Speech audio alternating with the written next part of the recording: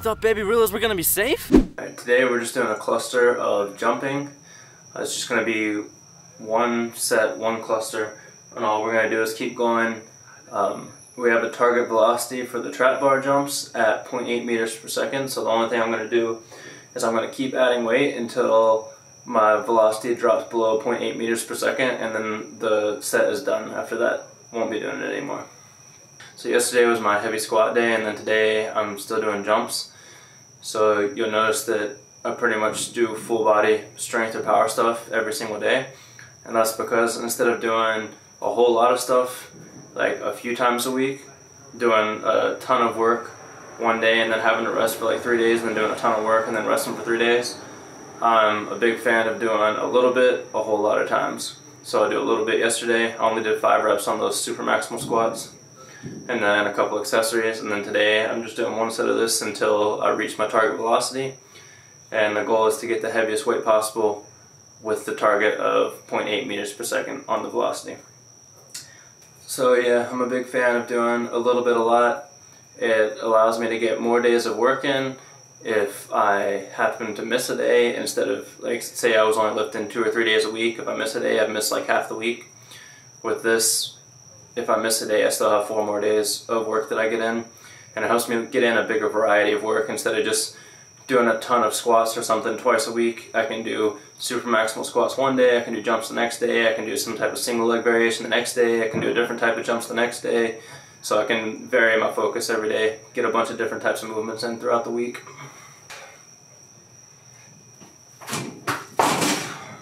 That's 1.77.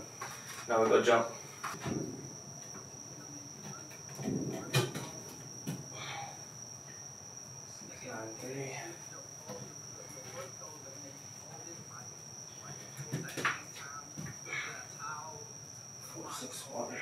So I measure the jump height on the drop jumps, uh, mainly just to have a number to compete with. Every time I jump I want to get a higher number and that allows me to put out more power in my jump because I'm competing with my height every time.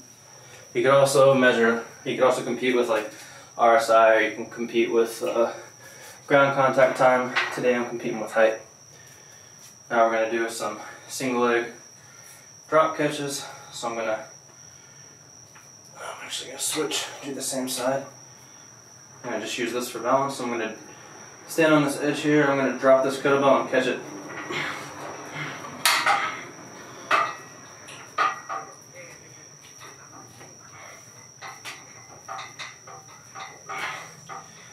Gives you a little bit of a plyometric with the weight. And then after I do this, now I'm going to do a band assisted ankle rocker. So I'll go here, my weakest one, which is just a knee bend, and then explode. Bend. Explode.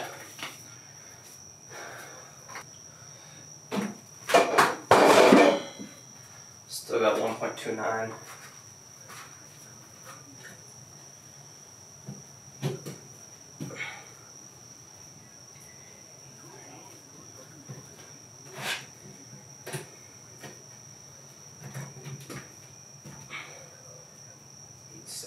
So I currently have a record of 305 uh, for 0.8 meters per second on this. So that's the goal today, hit 305 or higher.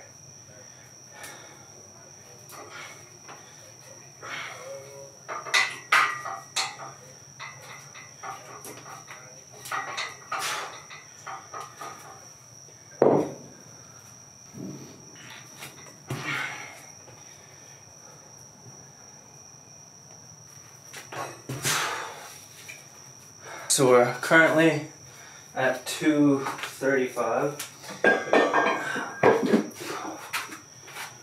Going up to 285 for this next one. See how well the velocity maintains. Now you'll notice I also keep my heels floating on this and on the drop catches.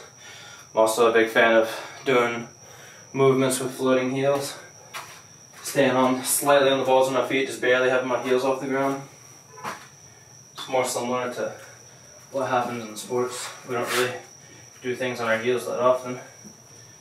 So anywhere that I can, I mimic that in, in my strength and conditioning stuff. Obviously, you can't really do floating heels with like super heavy squats very well. You'll tip over. Um, but you can do it on a lot of things like trap bar jumps. Works pretty well. So we're going to keep trying to stay above 0.8 meters per second here. See what we've got. 1.08. Getting closer. I'm going to go for 305 next. Seven,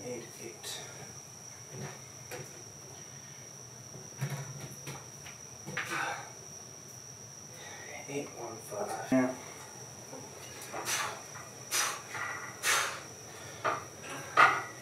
It's not super heavy, but it's just enough to jerk you down and catch it and have to resist it back up. Similar, it's kind of like a plyometric movement. I mean, I guess technically not in the traditional plyometric uh, definition, but it's like a pseudo plyometric movement here.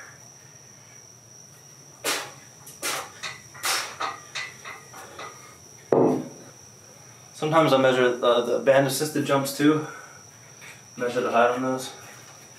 I'll move this way, I don't know if the camera can really see it. Sometimes I measure the height on these too. You want to get about 10% higher with the band assisted jump than you do with your normal jump. So sometimes I measure to make sure I'm getting that. So I took my single leg ankle rocker measurements from the other day, then I have an idea of where I should be here. And then when I use the band assistance, I should go about 10% higher than that. We're gonna move up to 305 now. So my previous record for 0.8 meters per second on this was 305. So that's what we're gonna try now. And in case you're wondering, we're measuring peak velocity here. If we were doing something like a squat, um, we would do mean velocity.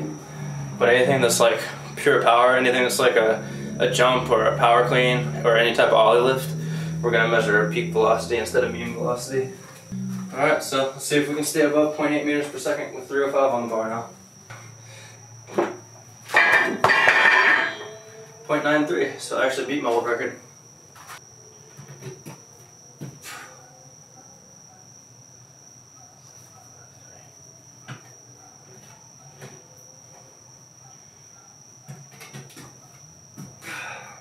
Also use the uh, the jump height measurement on the drop, the single leg drop jumps. You can also use that to determine a drop off. So if you see your jump height significantly dropping, then you know you're getting pretty tired. And maybe you should call it a night.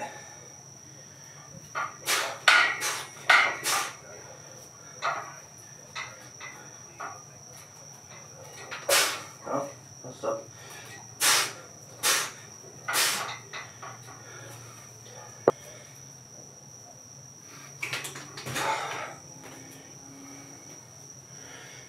So if you didn't know, this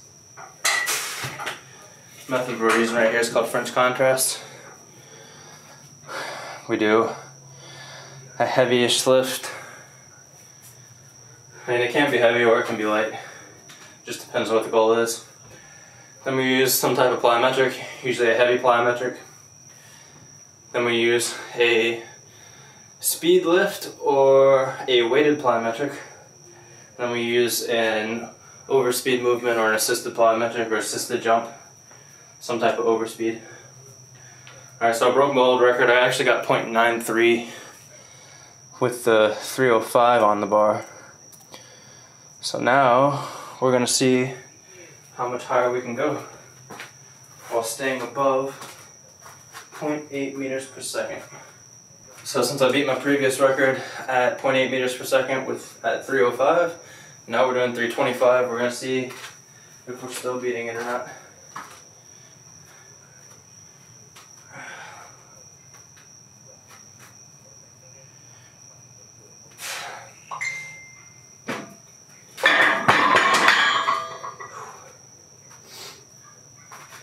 So we got 0.74.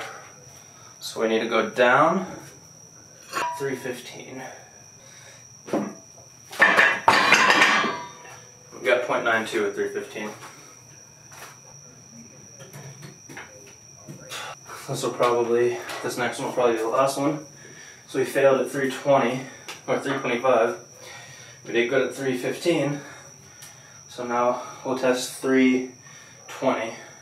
See how that goes.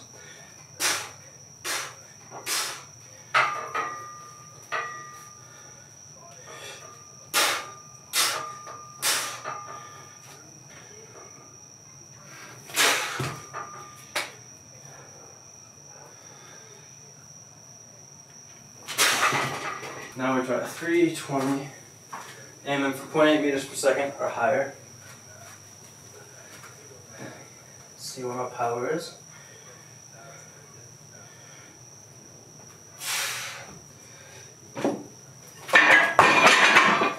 Point seven eight. So my old record at 0.8 meters per second was 305. I surpassed that by quite a bit. I actually got 315 at 0.9 meters per second. And then I got 320 at 0.78, so just below 0.8 meters per second. So now that we've hit 320 and we hit 0.78, we know that if we go any heavier, we're not going to be hitting our target of 0.8 meters per second. So the, the cluster's done. We're done with like the main lifts of the day. And we're going to move on, just do some supplementary stuff, and that's the end of the day. Just do a little bit of lot. So if you're wondering what the point of jumping with all that weight on the trap bar is, and what the point of aiming for that 0.8 meters per second is, um, today is a little bit of strength speed work. So we want to move uh, moderate to heavy load really fast. So we're trying to move as fast as we can. That's why I like trap bar jumps because you can actually load the bar super, super heavy and you can just go all out, full power, jump as hard as you can. Even if you barely get off the ground, you can just go all out on it. So it's really good for training that. Really good for training like any power, really. Strength, speed, power, speed, strength. Trap bar is amazing for all of it. Shaler hops, basically going to be leaning into the wall. I'm going to do it for a minute straight on each leg. And uh, the goal here is just to build up the tissues in my ankle to prepare them for later on. So all we're going to do is lean in here in this deep position and just hop. So we're getting the kind of that deep ankle bend that stresses your Achilles and stuff a little bit. And I can even push back with the wall. Like as I jump, I can use my arms to push back into my foot. We're just trying to get some submaximal high volume reps in here just to help build up the tissues in the lower leg. Like I said in other videos and in other posts, submaximal bounding and hopping is really good for building your body up. Not everything has to be all out all the time. If we're looking for power, then yeah, maybe. But most parkour people could probably put some time in just hopping and bounding like 60 to 70% power just to build their body up. That way you'll be more prepared when you go all out.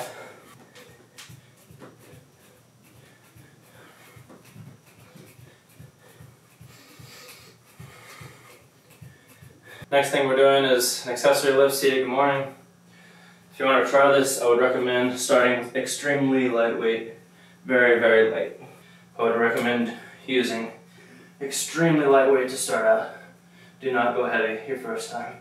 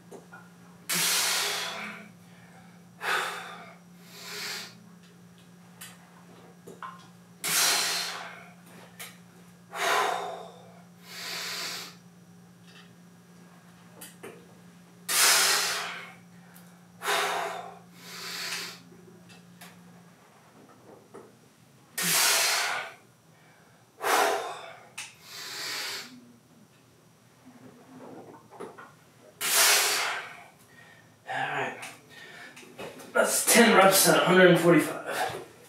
Now we're gonna do a Hindu squat at 205 pounds. Um, this is probably gonna look like something that everyone you've ever heard advice from has told you not to do, but uh, if you do it safely and progress it safely, it's actually pretty nice. Makes you makes my knees feel amazing. Gets some good work in on my feet and ankles as well. So let's have a look.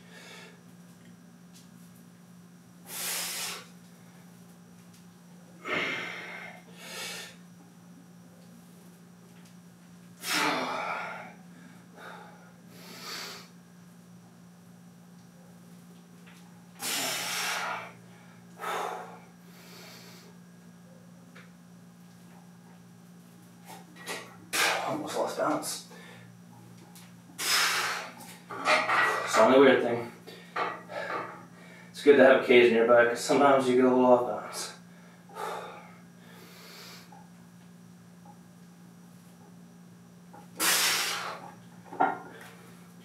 Now we're going to go in that same position. We're going to do some calf raises there. But we're going to use the cage for balance. So we don't want to be balancing while we're trying to do these calf raises. So we use the cage to help us balance. And now we'll go.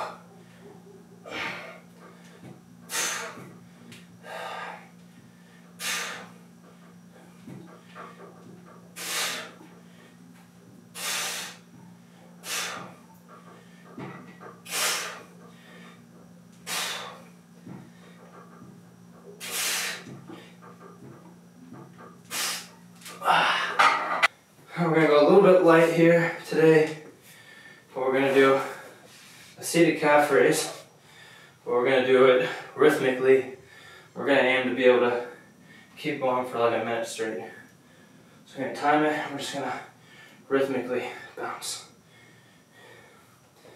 Maybe lean over a little more, put some more stress on it.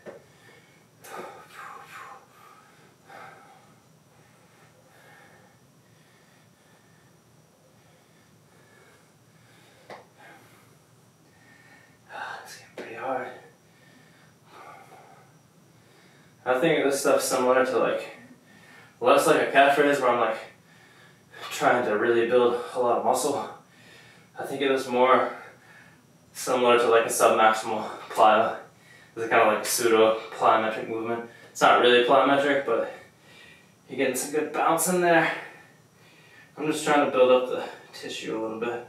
Trying to build up the tissues in my body, prepare them for later on. I can even pick up this kettlebell on the way up to help my foot get up some.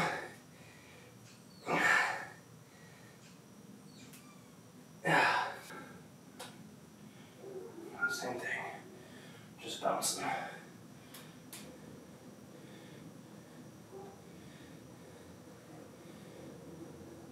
Last thing, this last movement uh, comes from the spring ankle drill series, which is something that Cal Dietz and I believe Chris Korfist came up with. It's a very nice uh, series of isometric movements that I really like for my ankles and feet. So we're gonna do one for each leg. We're gonna try to hold it for a minute.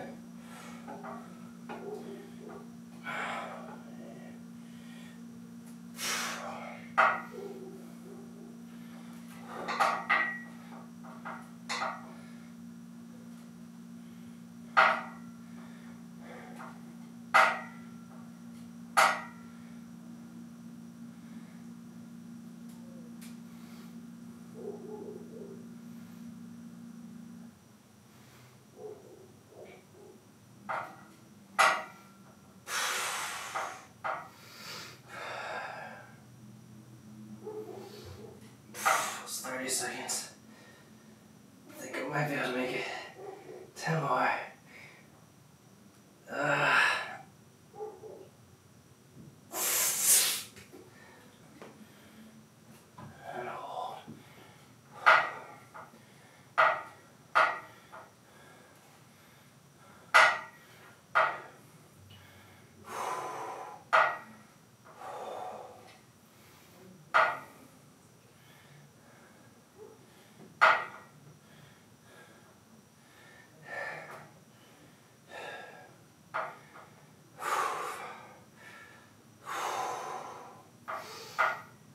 Ten more seconds.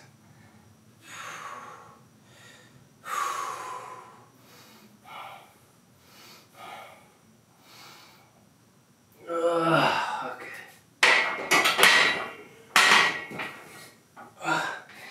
There we go. That's it for the day.